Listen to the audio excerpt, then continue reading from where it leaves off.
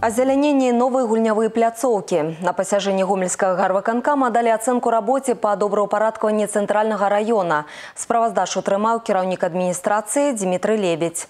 На тэрыторыі раёна пражывае больш за 120 тысяч гамяльчан. Стварэнне камфортных умоў актуальная задача для выканаўчай улады. Добраўпарадкаванне на тэрыторыі раёна фінансуецца з дзвюх крыніц. Гэта бюджэт і прыцягнутыя сродкі арганізацыі прадпрыемстваў. За два гады атрамантавана амаль сотня дваровых тэрыторый тэрыторый 40 фасадаў будынкаў. Усталявана 17 дзіцячых гульнявых пляцовак. У тым ліку дзве буйныя у скверы імя грамыкі і на вуліцы Чачэрскай. Таксама на карце раёны з'явіліся новыя зоны адпачынку.